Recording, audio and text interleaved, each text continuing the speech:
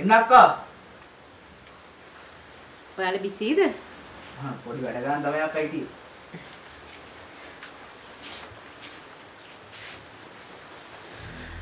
මෙන්න මේ ෆොටෝ එක අයියා එවලා තියෙන්නේ. මේ බලන්නකෝ.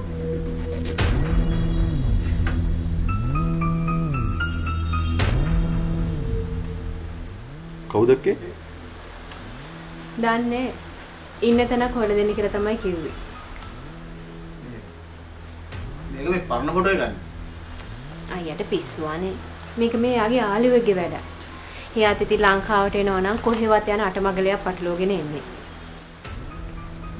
මොකටද දන්නේ නැහැ හොයන්නේ නේ? ඒක නම් දන්නේ නැහැ මල්ලි. ඉන්න තැනක් විතරයි හොයලා දෙන්න කියලා කිව්වේ. මේ මේ ෆොටෝ එකෙන් නම් හොයන එක ලේසි වෙන්නේ ඉතින්. එහෙමනම් ඉතින් Facebook දාන්න තමයි වෙන්නේ. නැහැ. ඔව් හැබැයි අක්කේ. Facebook එකේ ෂෙයා වෙන්න ගත්තන් පස්සේ මොනවා හරි ආරංචියක් එයි.